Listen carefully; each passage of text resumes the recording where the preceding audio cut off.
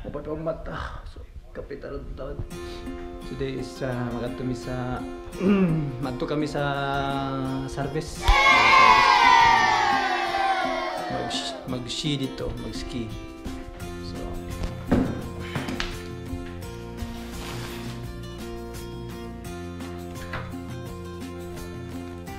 So yan.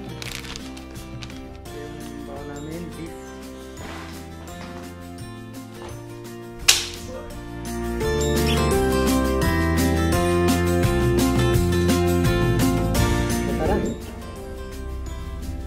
nyari di kita pilih apa okay.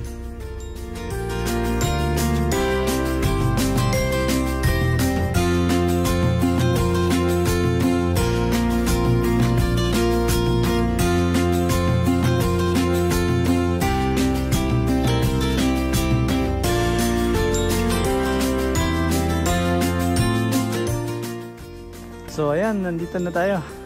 Mura dari sana. Ang Si Center. Nandun. Tanas ng anak dito. Kaya daw si JM.